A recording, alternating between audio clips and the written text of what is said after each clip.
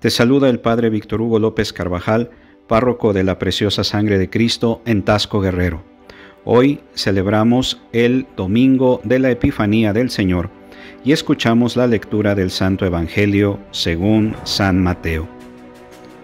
Jesús nació en Belén de Judá en tiempos del rey Herodes. Unos magos de Oriente llegaron entonces a Jerusalén y preguntaron, ¿Dónde está el rey de los judíos que acaba de nacer? Porque vimos surgir su estrella y hemos venido a adorarlo. Al enterarse de esto, el rey Herodes se sobresaltó y toda Jerusalén con él. Convocó entonces a los sumos sacerdotes y a los escribas del pueblo y les preguntó dónde tenía que nacer el Mesías. Ellos le contestaron, en Belén de Judá, porque así lo ha escrito el profeta.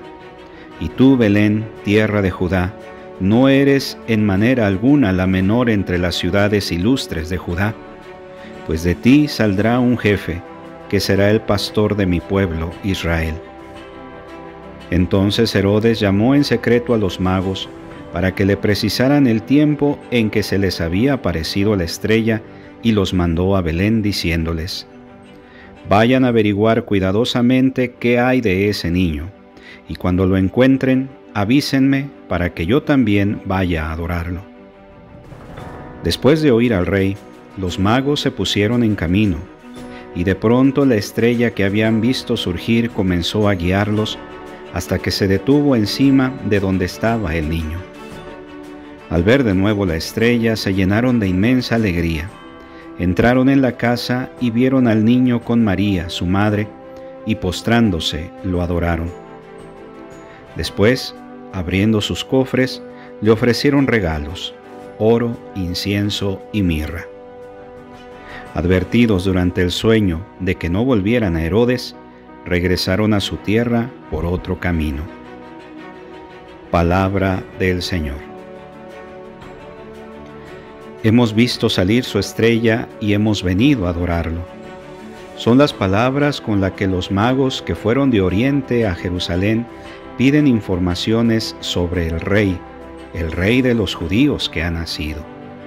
Son las palabras que también nosotros repetimos hoy en la solemnidad de la Epifanía del Señor, es decir, de la manifestación de Jesús como Mesías, Hijo de Dios y Salvador, a los pueblos que vivían en las tinieblas del paganismo. Los magos representan a los pueblos de toda la tierra, que a la luz de la Navidad del Señor avanzan por el camino que lleva Jesús y constituyen en cierto sentido los primeros destinatarios de la salvación inaugurada por el nacimiento del Salvador y llevada a plenitud en el misterio pascual de su muerte y resurrección. Los magos sirven de ejemplo para nuestra búsqueda de Dios. En efecto, ellos perciben su silenciosa presencia en los signos de la creación para hallar la verdad que sólo habían entrevisto, emprenden un viaje lleno de incógnitas y de riesgos. Su itinerario se concluye en un descubrimiento y en un acto de profunda adoración hacia el niño Jesús que ellos ven junto a su madre. Le ofrecen sus tesoros, recibiendo en cambio el don inestimable de la fe y del gozo cristiano. En su búsqueda espiritual, el ser humano ya dispone naturalmente de una luz que lo guía. Es la razón, gracias a la cual puede orientarse, aunque sea a tientas, hacia su Creador.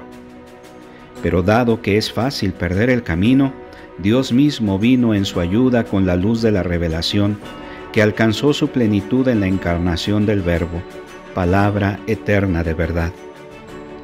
La Epifanía celebra la aparición en el mundo de esta luz divina, con la que Dios salió al encuentro de la débil luz de la razón humana. Así en la solemnidad de hoy se propone la íntima relación que existe entre la razón y la fe, las dos alas de que dispone el espíritu humano para elevarse hacia la contemplación de la verdad.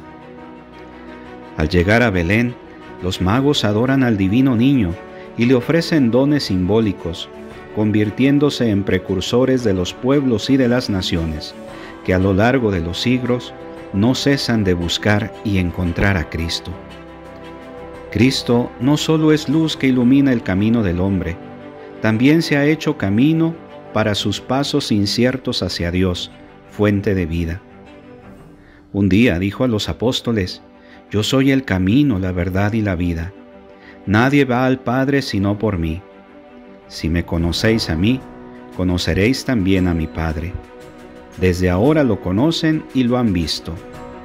Y ante la objeción de Felipe añadió, El que me ha visto a mí, ha visto al Padre.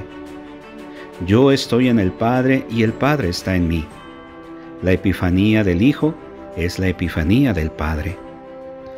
¿No es este, en definitiva, el objetivo de la venida de Cristo al mundo?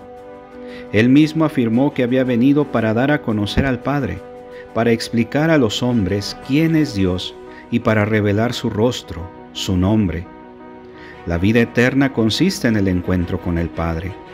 Por eso, cuán grande oportunidad es esta reflexión, especialmente durante este año. La Iglesia prolonga en los siglos la misión de su Señor. Su compromiso principal consiste en dar a conocer a todos los hombres el rostro del Padre, reflejando la luz de Cristo, luz de amor, de verdad y de paz. Con solo ver la estrella, los magos experimentaron una inmensa alegría. Acojamos también nosotros en nuestro corazón esa gran alegría. Adoremos al niño junto con los magos. Dios el Señor es nuestra luz, no en la forma de Dios para no aterrar nuestra debilidad, sino en la forma de siervo, para llevar la libertad a quien yacía en la esclavitud. Las estrellas se asoman al cielo, los magos dejan su país, la tierra se recoge en una gruta, que no haya nadie que no lleve algo, nadie que no sea agradecido. Vamos como peregrinos a Belén a fin de unirnos a los magos de Oriente mientras ofrecen dones al Rey recién nacido. Que los magos nos sirvan de guía para que nuestro camino cotidiano tenga siempre como meta y como término Jesús, eterno Hijo de Dios y en el tiempo Hijo de María. Pero el verdadero don es Él. No olvidemos que Jesús es el don de Dios al mundo. Debemos acogerlo a Él para llevarlo a cuantos encontremos en nuestro camino. Él es para todos la epifanía, la manifestación de Dios, esperanza del hombre Dios, liberación del hombre de Dios, salvación del hombre. Cristo nació en Belén por nosotros. Como los magos, vayamos a adorarlo.